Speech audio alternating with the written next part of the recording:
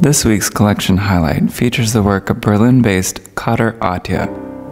Born in Paris and growing up between France and Algeria, the perceived divide between Western and non Western, or in his own words, modern and traditional societies, has profoundly impacted Attia's life, instilling in him a nomadic way of thinking towards issues related to identity and history.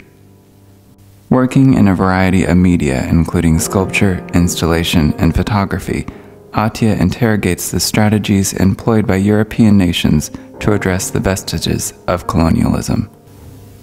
The initial project for Attia's large scale installation, The Repair, on view at Documenta 13 in 2012, Open Your Eyes is a double slide projection that juxtaposes portraits of wounded soldiers from World War I with stills of repaired masks from the collections of institutions like the Royal Museum of Central Africa in Belgium and the Smithsonian National Museum of African Art in Washington, D.C.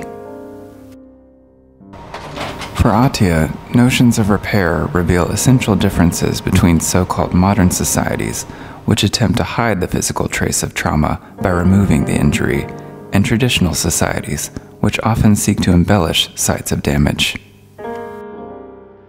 realized as a portrait of the former emperor of Ethiopia, Haile Selassie.